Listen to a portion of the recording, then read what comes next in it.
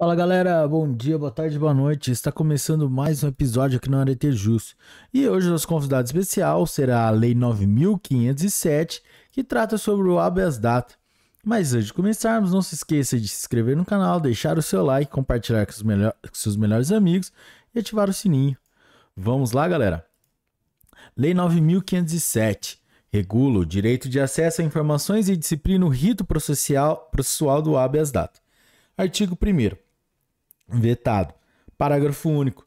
Considera-se de caráter público todo registro ou banco de dados contendo informações que sejam ou que possam ser transmitidas a terceiros ou que não sejam de uso privativo do órgão ou entidade produtora ou depositária das informações.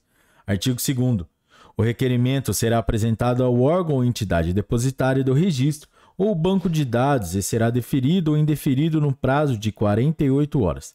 Parágrafo único. A decisão será comunicada ao requerente em 24 horas. Artigo 3 Ao deferir o pedido, o depositário do registro do banco de dados marcará dia e hora para que o requerente tome conhecimento das informações. Parágrafo único. Vetado. Artigo 4 Constatada a inexatidão de qualquer dado a seu respeito, o interessado, em petição acompanhada de documentos comprobatórios, poderá requerer sua retificação. Parágrafo 1. Feita a retificação, em no máximo 10 dias após a entrada do requerimento, a entidade ou órgão depositário do registro da informação dará ciência ao interessado. Parágrafo 2. Ainda que não se constate a inexatidão do dado, se o interessado apresentar explicação ou contestação sobre o mesmo, justificando possível pendência sobre o fato objeto do dado, tal explicação será anotada no cadastro do interessado. Artigo 5 vetado. Artigo 6 vetado. Artigo 7 conceder-se-á habeas data. Inciso 1. Para assegurar o conhecimento de informações relativas à pessoa do impetrante, constantes do registro ou banco de dados de entidades governamentais ou de caráter público. Inciso 2. Para retificação de dados, quando não se prefira fazê-lo por, por processo sigiloso, judicial ou administrativo. Inciso 3. Para anotação nos assentamentos do interessado, de contestação ou explicação sobre dado verdadeiro, mas justificável e que esteja sob pendência judicial ou amigável. Artigo 8. A petição inicial, que deverá preencher os requisitos dos artigos 282 a 285 do Código de Processo Civil. Galera, aqui leiam-se os artigos 319 a 320 do novo Código de Processo Civil. Beleza? Vamos continuar. Será apresentada em duas vias e os documentos que instruírem a primeira serão reproduzidos por cópia na segunda. Parágrafo único. A petição inicial deverá ser instruída com prova, inciso 1, da recusa ao acesso às informações ou do decurso de mais de 10 dias sem decisão. Inciso 2, da recusa em fazer-se a retificação ou do decurso de mais de 15 dias sem decisão ou, inciso 3, da recusa em fazer-se a anotação a que se refere o parágrafo 2 do artigo 4 ou do decurso de mais de 15 dias sem decisão. Artigo 9. Ao despachar inicial, o juiz ordenará que se notifique o coautor do conteúdo da petição, entregando-lhe a segunda via apresentada pelo impetrante, com as cópias dos documentos, a fim de que, no prazo de 10 dias, preste as informações que julgar necessárias. Artigo 10 a inicial será desde logo indeferida, quando não for caso de habeas data, ou se lhe faltar algum dos requisitos previstos nesta lei. Parágrafo único. Do despacho do indeferimento caberá recurso previsto no artigo 15. Artigo 11. Feita a notificação, o serventuário em cujo cartório corra o feito juntará aos autos cópia autêntica do do ofício endereçado ao coautor, bem como a prova de sua entrega a este ou da recusa, seja de recebê-lo, seja de dar recibo. Artigo 12. Findo o prazo a que se refere o artigo 9, e ouvido o representante do Ministério Público dentro de cinco dias, os autos serão conclusos ao juiz para decisão a ser proferida em cinco dias. Artigo 13. Na decisão, se julgar procedente o pedido, o juiz marcará a data e horário para que o coautor, inciso 1, apresente ao impetrante as informações a seu respeito, constantes de registro ou bancos de, da ou bancos de dados ou bancos de dadas, Ou, inciso 2, apresente em juízo a prova da retificação ou da anotação feita nos assentamentos do impetrante. Artigo 14.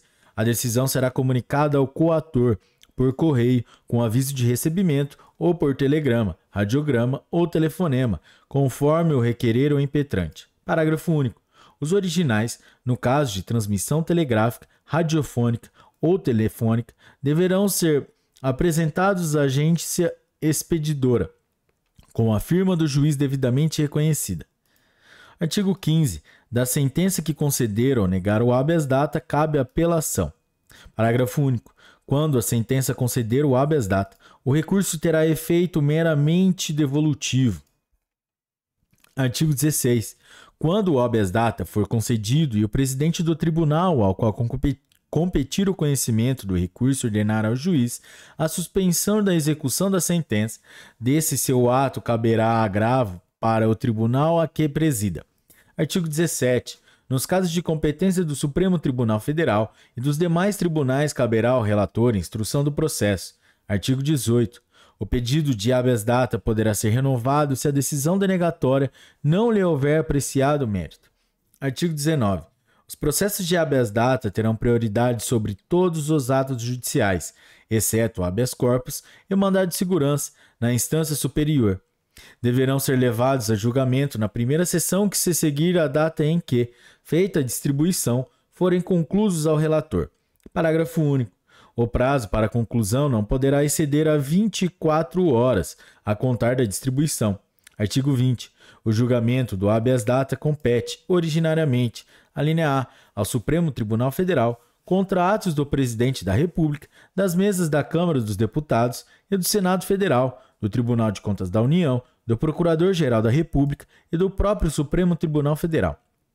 A linha B, ao Superior Tribunal de Justiça, contra atos de ministro de Estado de próprio tribunal. A linha C, aos tribunais regionais federais, contra atos do próprio tribunal ou de juiz federal. A linha D, a juiz federal, contra ato de autoridade federal, excetuados os casos de competência dos tribunais federais. A linha E, a tribunais estaduais, segundo o disposto na Constituição do Estado.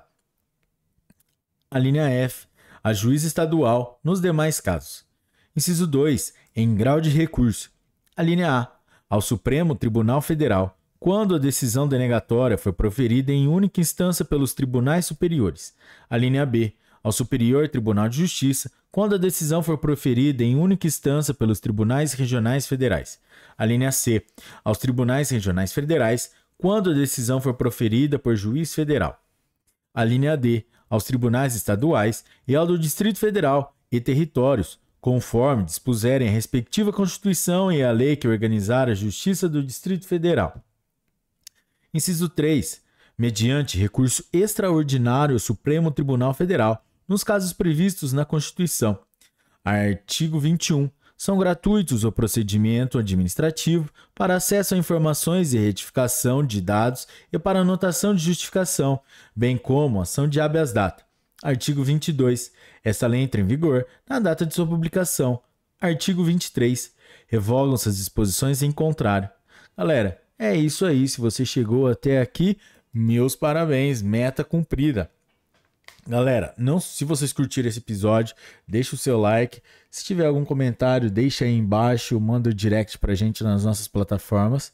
E é isso aí, galera. Bons estudos, um forte abraço e força aí. Tchau.